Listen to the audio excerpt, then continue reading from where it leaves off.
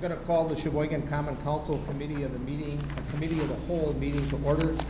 Uh, Roll call, please. Belt. Here.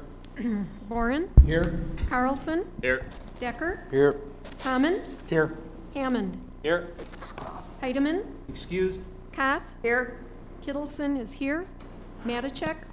Um, About 15 minutes late, probably. Rindfleisch. Here. Raisler. Here. Sampson. Here. Van Akkeren. Here. Vanderweel. Here. And Versi. Uh, Alderman Versi also will be here, but a little late. Okay, good. We, we have a quorum present. Let's rise for the Pledge of Allegiance. pledge allegiance to the flag of the United States of America and to the republic for which it stands, one nation, under God, indivisible, with liberty and justice for all. Uh, Before we get started on the next agenda item, we are on television tonight. uh, So we need the microphone up, and uh, we won't be live tonight. It'll be rebroadcasted tomorrow at 1 PM. Uh, Next, I would entertain a motion to approve the minutes from the June 14th, 2011 meeting. So moved. Second. We have a motion and a second to approve the minutes. Is there any discussion? All in favor? Aye. Opposed? Chair votes aye. Next on the agenda, we have a public forum uh, on any agenda item. Does anybody wish to speak? No public forum. Uh, Next, we have uh, chairman's comments. Just want to go over briefly something that I send out to everyone a week or so ago, and that is uh, my expectations and the committee protocols for the committee. Uh, Over the years, I've chaired many committees, uh, some in city government, some in professional organizations that I belong to. And whenever I've chaired a committee in whatever role it's been, I've always uh, had some expectation for, expectations for my committee members. And some of them are just basic house- housekeeping things. Uh, If you, if you can, uh, at all, at all possible, arrive about 10 minutes before the meeting, that would be helpful. If you're unable to attend a meeting, I would appreciate it if you would call the city clerk's office or my cell phone uh, as soon as possible. If you know you're not going to be able to attend, or even if you're going to be running late, I got a- at least one of those calls tonight. Uh, If you don't have my cell phone number, I think most of you do, but if any of you don't have my cell phone number, I'll give it to you after the meeting. Another thing that's important with the committee of the whole, that we need a minimum of nine alderpersons in order to conduct city business. And I would appreciate it getting back to attendance that we have no unexcused absences. I would appreciate it if you'd keep your cell phones and other electronic devices turned off and out of sight. Uh, It's also very important to come to the meeting prepared to be an active participant by having read all of the documents prior to the meeting if possible. And please be prepared to be an active participant in all discussions. Uh, The, uh, uh, it's very, we, we talk about some very important topics with these committee of the whole meetings. And uh, it's very important that all of you try to participate and, and ask questions. Makes for a better meeting. Uh, Similar to uh, other city committees that I've chaired, I will vote last on all roll call votes. Uh, If you wish to speak, similar, sa- same decorum as at council meetings, I'd appreciate it if you're, if you're, push your button and I will, will recognize you. Uh, Each alderperson will be allowed to speak three times in any agenda item. A full discussion of each agenda item will take place with no time limit. Most meetings will not exceed two hours in length. Uh, And for some of the uh, newer people on the council, the mayor is not a member of the committee of the whole. The mayor is welcome to attend the meeting and will be seated in, in the public seating area. The mayor may speak at the chairman's discretion. For maximum transparency for the citizens of Sheboygan, I will attempt to have all committee of the whole meetings televised on channels 95 or 990. A public forum on agenda, item, uh, on agenda items for each committee the whole meeting, I will be holding a public forum. Uh, People will be able to speak up to three minutes on any agenda item, and there will be no time extensions. Uh, I believe if we all uh, work together on these uh, protocols, it'll make for an efficient and professional operation of the committee for the benefit of the cities of Sheboygan, and I look forward to working with all of you. Thank you very much. The next thing we have for discussion only, uh, item number seven, is an update on the City of Sheboygan's implementation of State of Wisconsin Act 10. And if I could call up uh, Tom Rice, the city's HR and Labor Relations Director, and Tom will be uh, doing the next couple of agenda items for us. Tom? Thank you, Mr. Chairman. Could I draw your attention to the handout that's at your place? Um, What this is, it goes a little bit beyond the Act 10, but I wanted to make sure you were up to date in terms of where we are. The Wisconsin Retirement Fund contributions, 5.8%, uh, has already begun for transit. As you may know, we had a uh, a new contract go into effect for transit that carries us through 12/31 of 2012. Their deductions became effective August 1st. Non-reps and elected became effective on 9/9, the payroll coming in at 9/9 this year. All of the others will become effective on 1/1/12. Any questions on the retirement fund contributions? Okay? Medical insurance contributions of 12%. Transit began 8/1/11 because they are the only collective bargaining agreement that was agreed to for that deduction date. We have decided to defer any other increase uh, contributions until 1/1 of 12, uh, when all of our uh, non-represented employees, all of our elected officials, uh, all of our other unions, with the exception perhaps of fire and police, we have to see what happens in negotiations, will take place. Benefit plan changes. We're in the process of putting together the medical plan going forward for 2012. In addition to that, we're also looking at some rules and regulations changes as well as overtime changes. All of those uh, are going to go into effect on 1 1 of 12.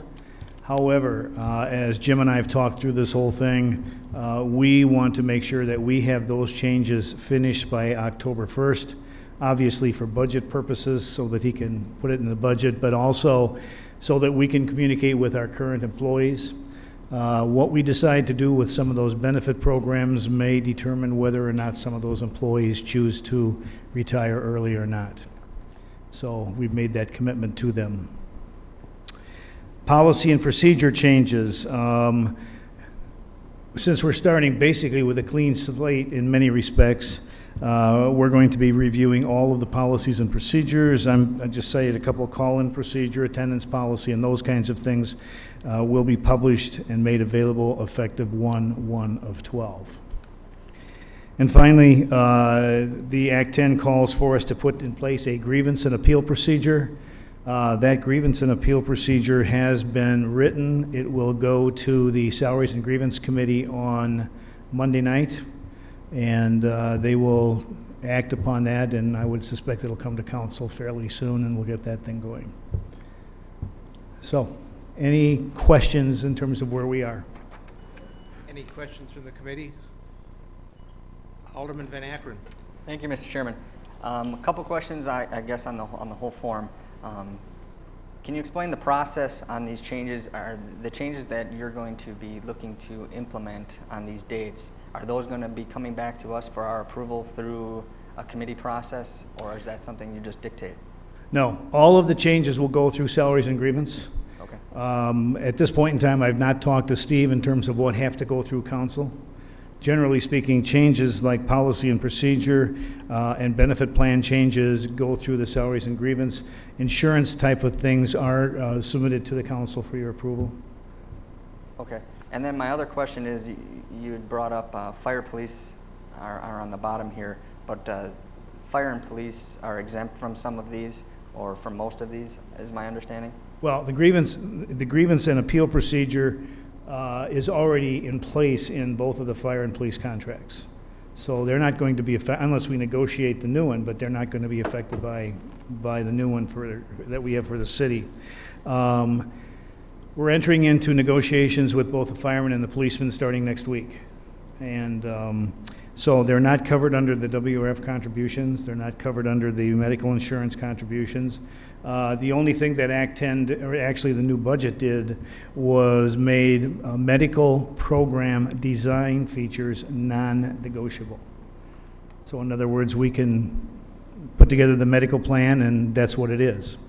We can talk about premium uh, rates in terms of how we share that premium and so forth, but as far as the actual plan itself, that's not an item for negotiation. Okay, then my last question on the fire and police side of that, the non-represented or the non-rep employees in those departments, they're going to be taking effect on these dates. Have we considered the effect of, or I guess, uh, can you explain the, how that effect will, the comparison effect? Um, are you going to have non-represented employees, supervisors in these departments that are going to be making less overall comp, uh, package compared to the union worker? And have we considered that effect of, again, a supervisor who's now going to be making less to the, than the, the officer that's getting? We have, we have taken a look at uh, compression studies. I'd rather, can you hold your question until we talk about the pay plan? Sure. Because I think it'd be more appropriate to that. Okay. Any other questions? Uh, Alderman Hammond. Thank you, Mr. Chair. I think it's, uh, and Tom, if you can correct me if I'm um, wrong, but I, um, maybe a comment to your point as well, Alderman Van Akkeren, is some of these things aren't optional. Um, You know, if the 5.8, those types of things, they have to happen. Doesn't matter what the end result of their paycheck is. They just, 9/9, it's the first pay period after 8/25. That's when they come into effect. So your point duly noted, but it's not like we have as a council an option to change that. So, Thank you. Thank you, Alderman Hammond. Thank, thank you, Alderman Van Akkeren. Any other questions? I have a couple, uh, Tom. Uh, Under the uh, WRF contributions, the five point eight percent, uh, currently, uh, elected officials are contributing more than the eleven point six. Will the elected officials be uh, contributing half of what they're contributing now? That's correct. That's correct. So I think it's 6.65 or something is what it looks like going forward. Okay. And then the other thing on the, um, two things on the medical insurance contributions. Uh, I thought I read in the, in the bill, unless it was changed, that it was going to be, the, the percentage was be twelve point six percent? Uh, 12% was what is in the Act 10 bill. And I'm, I'm- I'm, the 12.6 was with the government insurance plan that they have for Madison. We don't have that insurance plan. And then the other thing is on the medical contributions for transit, it starts eight one. Uh, Now, I know on the WRF contributions, that was mandated, as Alderman Hammond just mentioned. Is the medical insurance contributions uh, mandated that that start in September? Or is that at the option of the community that we can start that on one twelve, or one one twelve rather than in September of this year? Those employees covered under the government insurance portion, uh, the program for insurance mandated as of 9/1 or 9, uh, whatever it was, since we are not covered under that program, we aren't, don't fall underneath that mandate. We can choose to do what we want to do. And to- to, to give you the rationale behind the decision, none of the bargaining units thus far would be contributing any more this year to the insurance. Uh, As we talk about the compensation plan going forward in the non-rep area, we didn't feel that that was fair to take and penalize them as well going forward. So that's why we chose to start everything as of 1/1/12. Thank you. Any other questions? Thank you, Tom. We'll Okay. have you back up in a few minutes for part two. Uh, next, we have, uh, items, uh, for discussion and possible recommendation of the common council. The first one is, uh, agenda item number eight, communication number two eleven twelve, council document number five twenty-three, submitting a communication from Michael Toth, being an article from the Milwaukee Journal Sentinel entitled Trainee Feels the Heat, Sweat, and Fear. Uh, I initiated this uh, article from the Journal Sentinel to the council uh, after it was submitted to me by Mr. Toth. And Mr. Toth, I understand, is a uh, member of the Sheboygan Fire Department. And I know this, this uh, article went before Public Protection and Safety, and I did uh, call Mr. Toth and asked him to appear tonight if he wanted to uh, make any comments on this article. Uh, Chief, if, if you had a chance to look at this article, are you familiar with it at all or not? Okay. Uh, it was, it was quite an interesting article on, on the training procedures for, for firefighters and, uh, what they go through in, in getting their training. Is there any questions or comments from the council on this, on this article? Otherwise, I'll look, I'll entertain a motion. Alderman Hammond. Thank you, Mr. Chair. I'll make a motion to file. Second. We have a motion and a second to file. Any further discussion? All in favor? Aye. Opposed? Chair votes aye.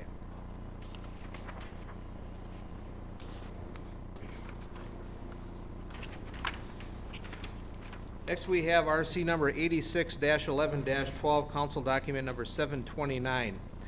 Uh, your committee who met and discussed the draft compensation program for non-represented employees, and after further review, based on a positive recommendation from the Salary and Grievances Committee, recommends referral of this document uh, to the Committee on Finance and the Committee of the Whole.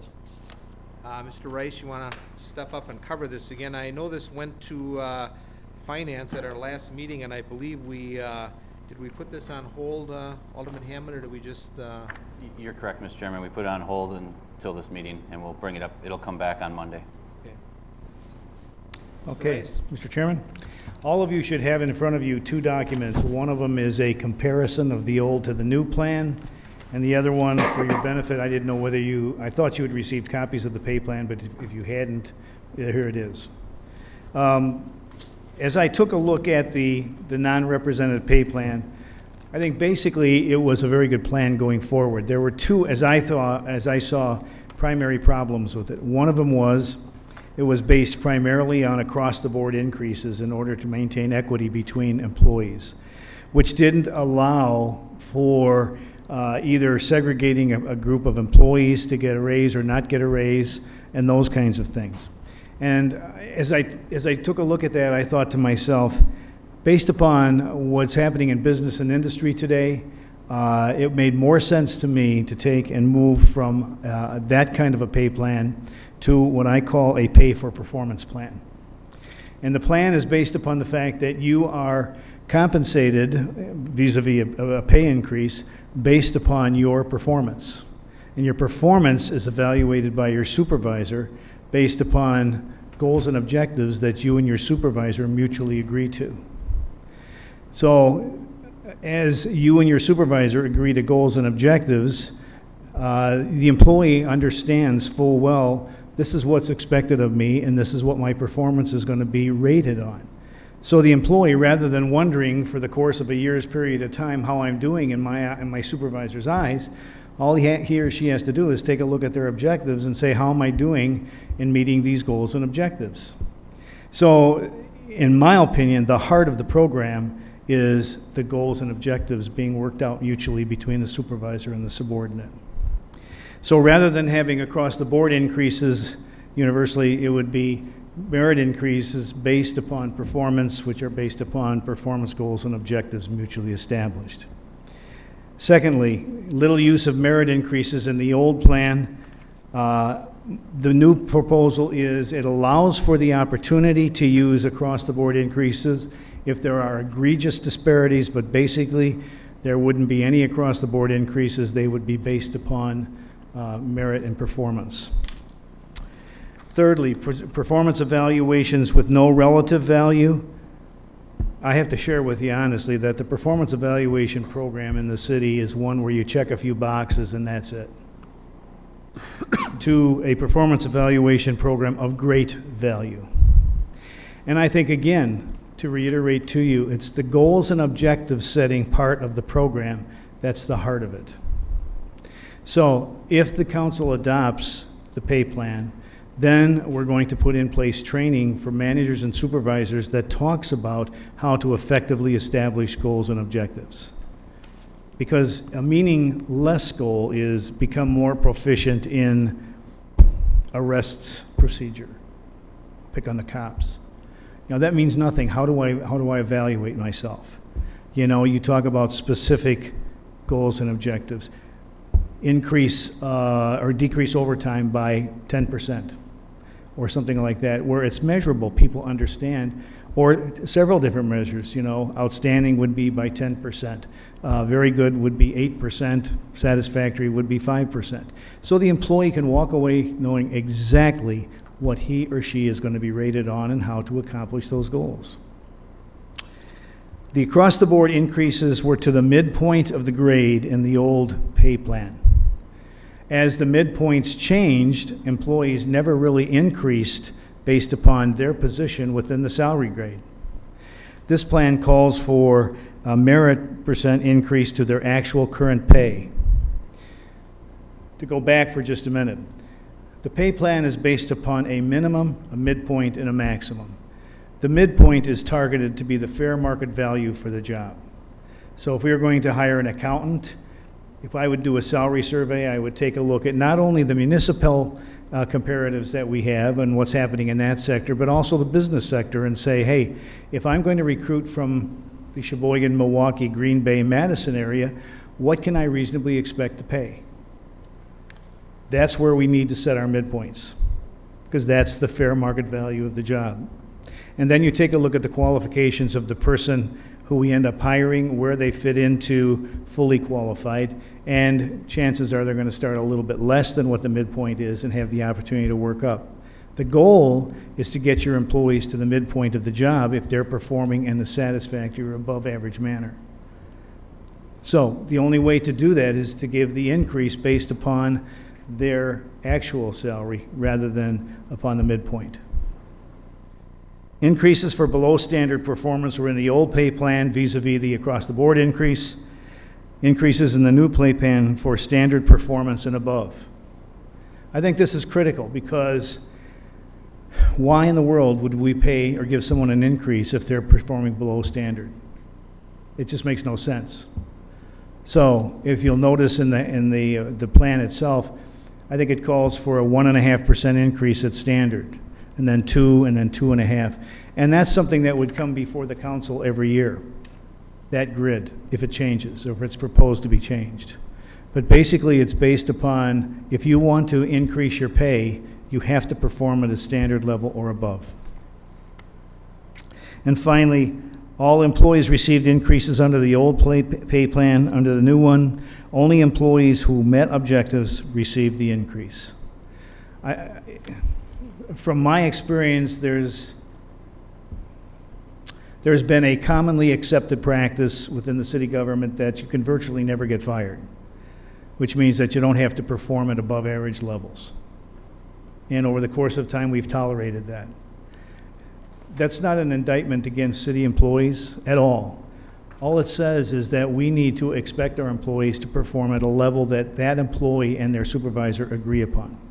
And if they don't perform to that level, they shouldn't be warranting a merit increase. So those are the, the six basic changes in comparing and contrasting the two. Uh, Questions?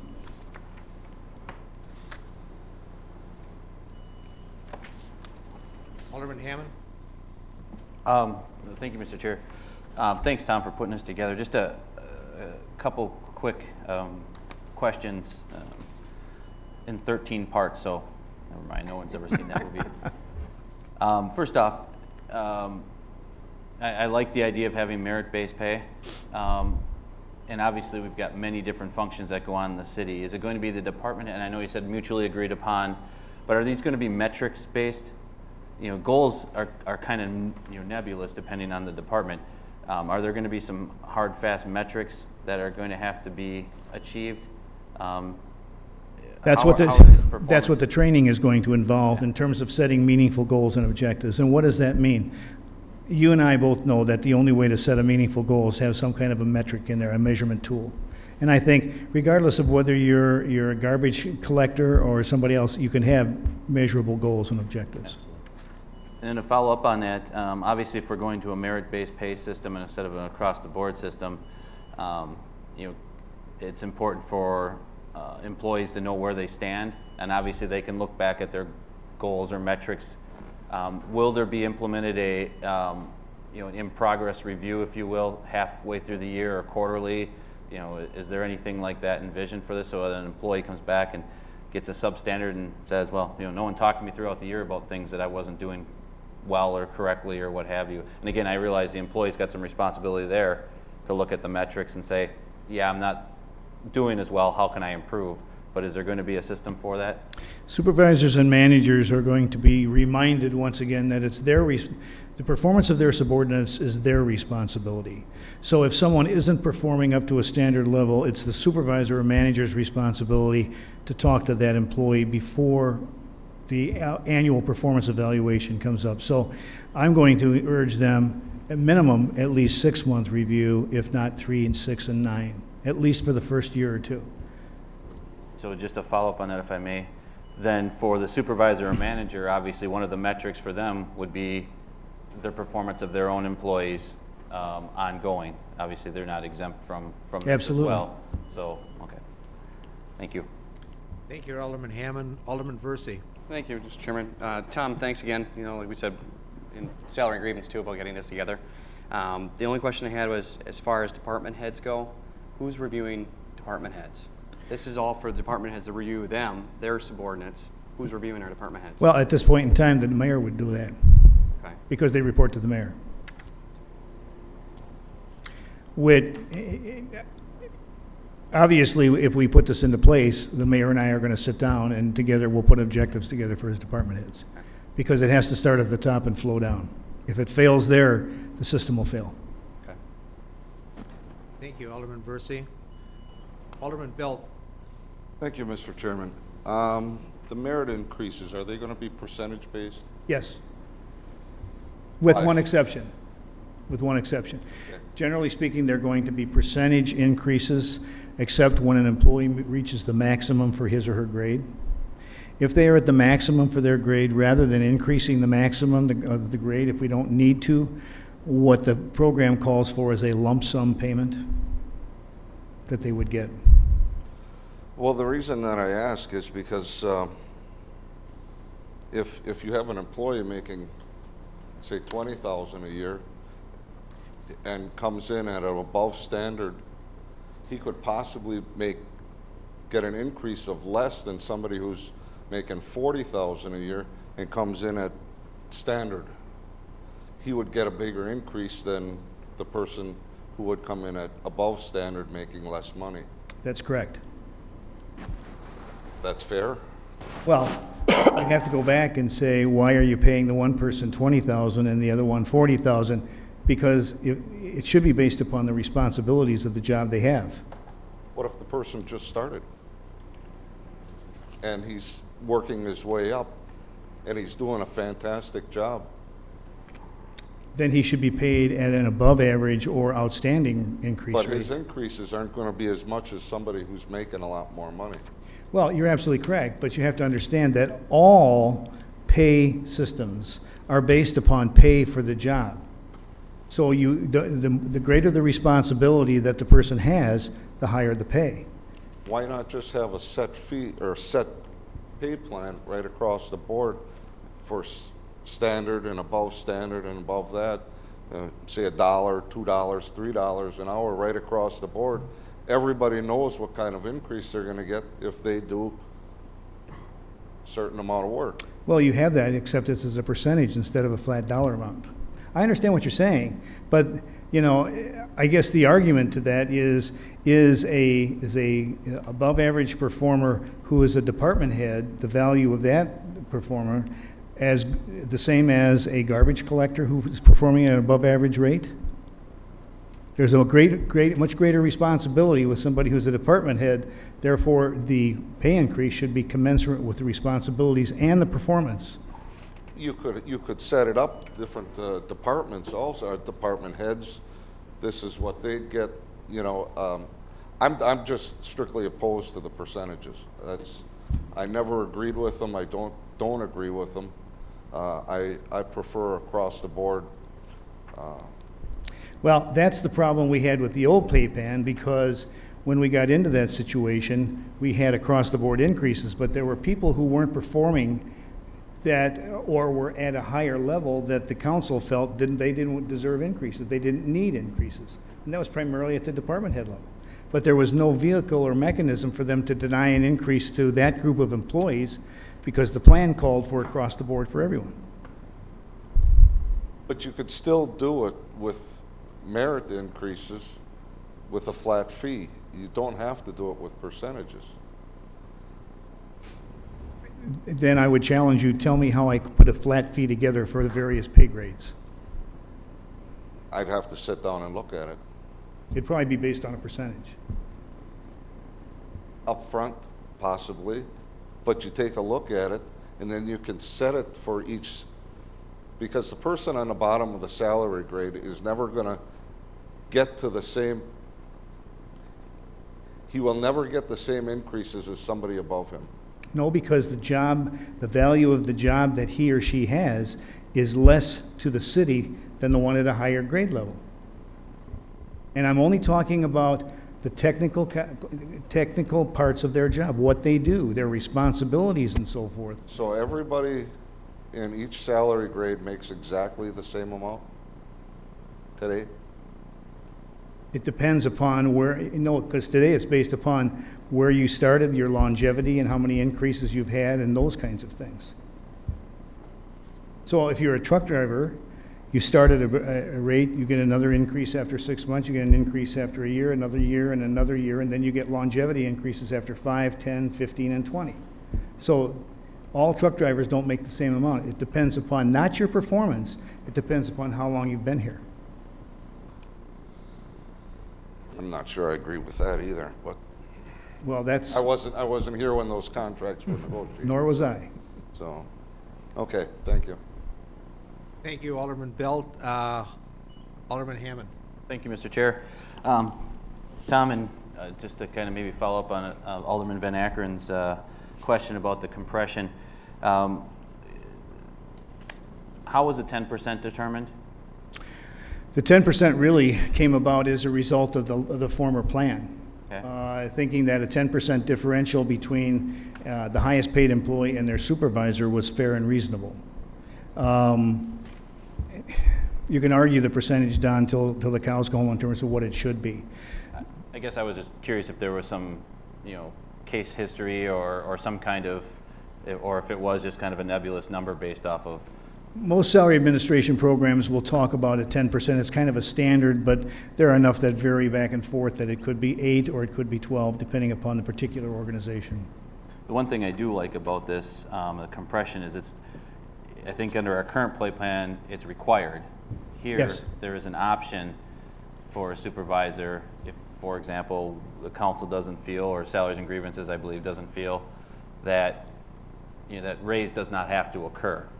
So Based upon performance. Correct. That's, I mean, if you have a, a substandard supervisor, and just because somebody's making within that ten percent, it's not an automatic pay increase. And I think that's a, I think that's important, um, because I think we all know in various departments, there are some supervisory challenges. Um, and I think this helps us, gives us a tool to deal with that. I have to share with you that uh, we did some work with a a compensation consultant uh, out of Madison, and um, I sent this program to him about two months ago, and he said, if you get this adopted, you will be the first muni- municipality in Wisconsin to have a pay-for-performance program. So this is cutting edge for municipalities. For those of you in the business world, this is something that you've had for years, but in municipalities, this is cutting edge, brand new. Thank you. Thank you, Alderman Hammond. Alderman Van Akkeren. To follow up on Alderman Hammond's follow-up of my original question. To follow up, to follow up, to follow up. Correct. Um, Can you touch on the compression rates? I I found the- the- that part of that to be on page 13, um, but that specifically deals with the pay. Now, if we are requiring the non-representative employees to make these contributions, obviously, I'm assuming they're not making these contributions now, their overall comp, uh, compensation packages are going to be taking a hit based on that. Is there, is there any thought or is there anything in place that we're looking at keeping that overall compression rate? I mean, because again, if, if, if our non-representative employees are now paying these contributions, and in the police department and the fire department, the line officers or the, the, the union represented employees are not, pay-wise, their compression hasn't changed, but their overall compensation package obviously has changed. Is there any, have we looked into, or is there anything in place to address that? Well, let me give you a little history and then I'll address your question going forward. When we did the, the uh, compensation study for the city, and that was uh, done about uh, six months ago, uh, we took three categories. We took our non-represented employees, we took our uh, managers uh, and supervisors, and then we took department heads. The non-represented employees were found to be at or above the average rate of pay for their jobs, which says that that group of employees are being paid fairly for the work they do. The department heads were found to be at or close to the midpoint average rate for their jobs. The supervisors were below. So, we know we've got a compression problem right up front. When I went back and I looked at the overtime, I found that in some cases, not a lot, but in some cases, employees were making 10 to 15% more than the supervisor with the overtime. So that's an area that we need to address, very definitely. But, and this is the double-edged sword, uh, it was touched upon in terms of the quality of our supervisors and what we expect. And I think we need to make those corrections, but at the same time, we need to significantly increase our expectations for our supervisors. You know, when you think about going forward, the world in, as of 1 1 2012 is going to be much different than it was in 2011 in terms of their ability to supervise, their ability to manage the workforce, and those kinds of things. Uh, one of the things that we're going to change is the overtime and how it's paid. At least uh, that's proposed right now. And, you know, as we negotiate contracts, I can assure you that's going to be on the table. Because we're going to go to pay for anything over 40, not some of the overtime pay regulations that are in contracts today. But part of that is simply the supervisors managing the whole work process. And quite frankly, that has been lackluster at best in the past. So that's part of the problem because if you're not paying close attention to the overtime or stopping overtime, it's just going to continue to roll, and obviously it rolls up, and people make a lot of money for, for many times not doing what they should be. So that's part of the problem. Going forward, I think we need to do one assessment before the end of this year, and that is again taking a look at our supervisors and the, the compensation for their people below them. Consider what we're going to do with the overtime rate and the potential impact that has, and where it makes sense, make adjustments or plan to make adjustments in 2012 based upon six months of performance. Again, far as I'm concerned, this entire program is based upon satisfactory or above performance. If that doesn't happen, if they can't make the adjustments that I think they need to make going forward, then they're not going to, there's going to be a compression problem that's going to remain. The compression problem is also going to be there if a supervisor performs at a below average rate and we continue to keep him in or her. Correct. I, I guess my concern is for the supervisor who is getting an outstanding um, merit-based pay. Um, come January 1st, they're going to start making these contributions, or actually come um, in September, they're going to start making these contributions. And like I said, their overall compensation compression rates are, are going to shrink. Yes. Um, you know, th- this addresses the, the pay side of that, which um, is the base pay not dealing with the overtime issue. But I, I guess I, I would like to have some kind of an idea if there is a way to address that, whether that is increasing the pay because we're, as Alderman Hammond pointed out, we're required to have these contributions. But I, I think it is appropriate to look at, at the end of the day, when these contribution, contributions come out, these are coming off your check. Your, your check is going to get smaller, and your, your compensation rate is, is going to shrink, and those compressions are, you're not gonna have those same compression rates, especially in the police department and the fire department, from the represented to the non-represented employees. I don't disagree with you, but remember, it's a timing issue. You're only talking about four months, because everybody else is going to begin the contribution as of January 1st.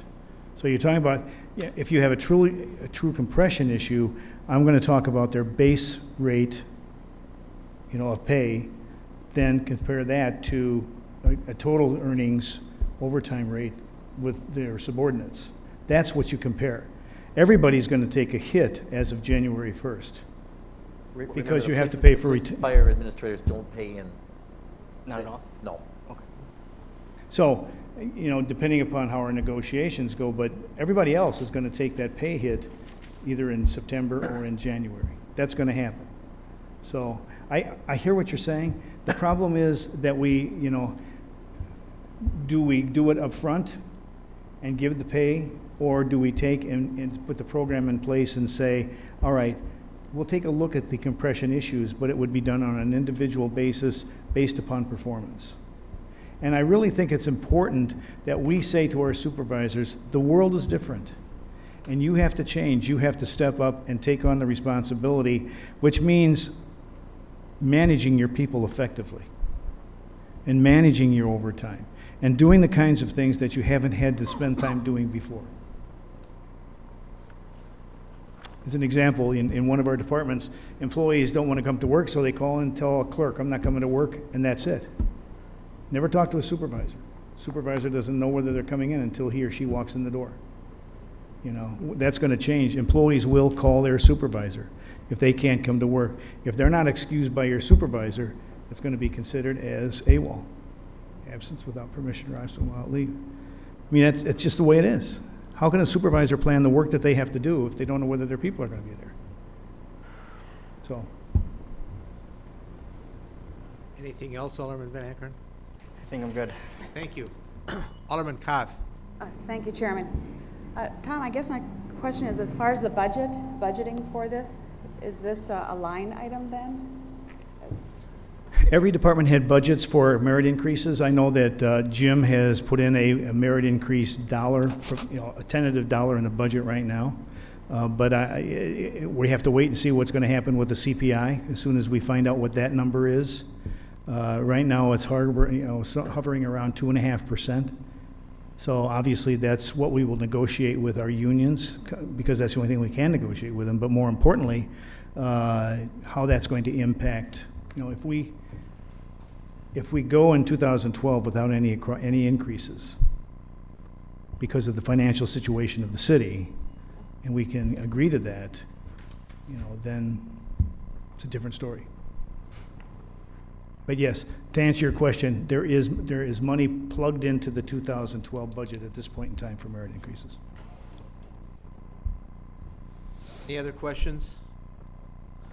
Uh, I've got a, a couple, Tom. Uh, on the performance evaluation form on page twenty-one and then on page twenty-two, uh, I read this over a few days ago, but, uh, just to refresh my memory, uh, will the supervisor be filling out the form and then go over it with the employee? Uh, is that the way it's going to work? Yes. I know some businesses do it this way. I knew I used to do this when I had, when I had my small professional office, is that I did a, I did a performance evaluation on my, uh, on my office manager, my secretary, once a year. And I gave her the performance evaluation to fill out. And then, uh, she filled it out, and then I filled it out separately, and then we had a meeting. Mhm. And I found that, well, I found it kind of interesting to see where she thought her strong points were, or weak points, and then vice versa. I thought it was a very useful tool, just rather than having the supervisor fill it out and then have the, well, as, as we're thinking of doing it here, might be something to consider to have the employee fill it out before the meeting, and then have the employee and the supervisor kind of mesh and see what each other's thoughts are. Effective supervisors will do exactly that. You know, When I came to design a performance evaluation form several years ago, my boss asked me to do that in another lifetime, and I said, it's going to be very simple. What have you done well? What do you need to improve upon? And what are your goals and objectives for next year? Because that's really all that employees need to know. But this is designed primarily for verbiage, for dialogue. You know, so there's not checking of boxes and all that kind of stuff, simply because it's, number one, it's too easy to fill out. Number two, it's done at the last minute. This requires some thought and it requires some dialogue between the employee and the supervisor. And that's why I put this form together. It's fairly simple, but it can be as long as you want it to be, depending upon the employee and the performance levels and the objectives you're trying to accomplish. So it gives the supervisor or the manager maximum flexibility in terms of what he's going to put in. Could that, could that be something that you might want to discuss when you have these meetings with the supervisors and department heads, that that may be an effective way to do it? Absolutely. Hand it out first, and then the It- employee fills it out, then they fill it out, then they have their meeting. This is a tool for them to use. You know. Then I have one other question. Uh, When we get into these more sophisticated performance evaluations, and let's say an employee puts on there, I want to move up in the department, but in order to do that, I'm going to have to get an associate degree, or, or I'm going to need my bachelor's degree to do that, or I may need a master's degree. Has it ever been uh, discussed that the city start an employee tuition reimbursement plan like some corporations do?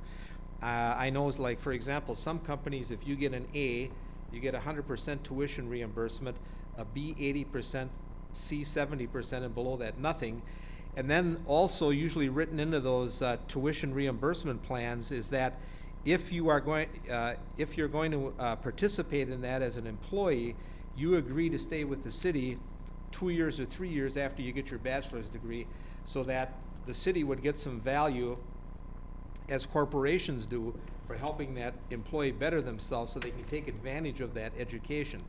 Uh, I know, you know, budgets are tight and all that kind of thing, but I think, uh, something that we may want to consider. Well, one of our contracts already has that, you know, in the police department. But I agree with you, and I think that's something that's sorely lacking in the city. But frankly, you know, with the economic situation we find ourselves in today, you know, where do you spend the money and where do you get the money from? Uh, one of the focuses that I think you've already heard from the University of Wisconsin Whitewater is an emphasis upon training. And I think that's one of the goals that we have to set for us next year in terms of at least beginning citywide training for employees.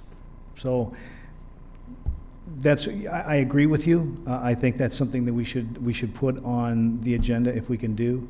Um, if we, if we wait till money is available, it'll never be available. So I, I, it's gonna be in my budget going forward. Whether it stays in there, we'll see, but I think it's very important. Thank you. Any other questions from the, uh, committee? Alderman Hammond. Uh, Thank you again, Mr. Chair. Uh, Just one quick question. Um, Is there a veto on this performance review? Again, we've talked, uh, you know, some of our supervisors may or may not be real good. Um, You know, my concern is, you know, a supervisor evaluating a, an employee, and everybody under his command or under his um, uh, supervisory range ends up with fives is there a veto by the department head that says, whoa, whoa, whoa, you know, this, this, you know, this isn't the case. I've seen this in particular employee work, and it's certainly not a five. Um, is there a, a process of veto, if you will? Actually, there's two. Uh, the department head is one, and HR department is the second. And if it gets really bad, the salaries and grievance will be the third.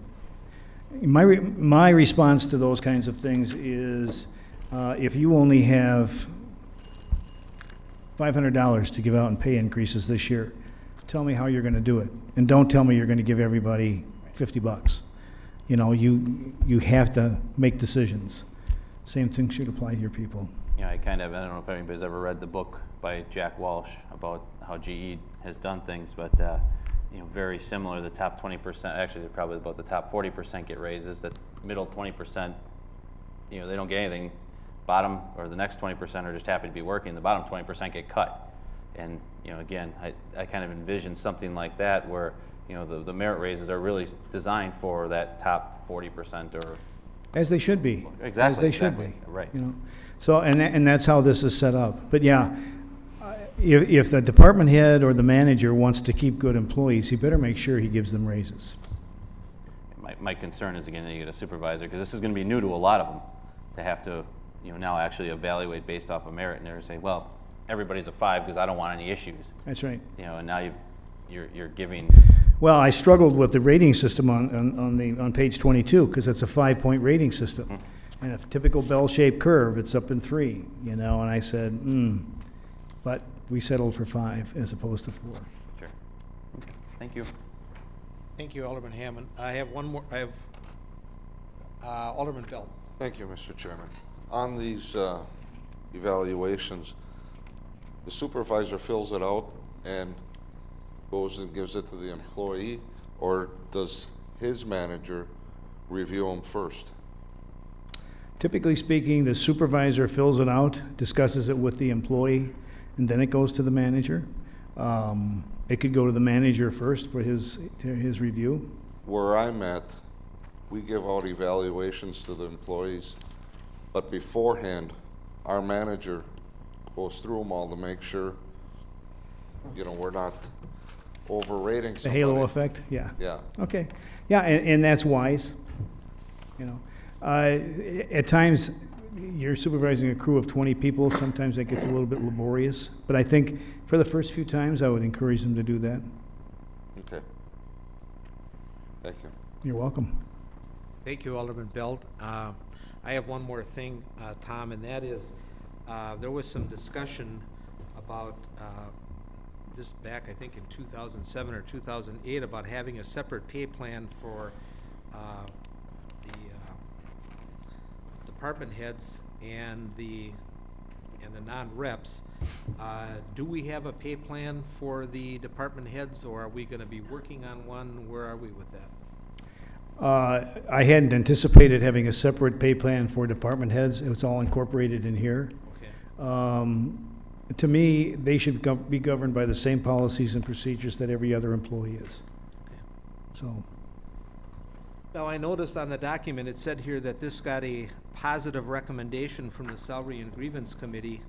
Uh, Would it be uh, helpful for you, Tom, to get a, uh, some kind of a recommendation, either yea or nay, from the Committee of the Whole to be referred back to the council? Did you hear anything tonight where you may want to tweak this a little further, or could you tweak this even if we gave you a favorable recommendation tonight? I think the tweaking, Jim, would, and what I heard coming from the council would be part of the training that we would give supervisors and how they use the tools. Uh, To be honest with you, I'm not that familiar with the parliamentary procedure and what has to happen. What I'm looking for ultimately is for the council to approve it, so we can move forward, because the training is gonna take place at the end, by the end of this year, it has to. And so the end of the year is getting very busy with a lot of things that have to happen, so. Okay, thank you. Is there any other final questions or comments for Mr. Rice?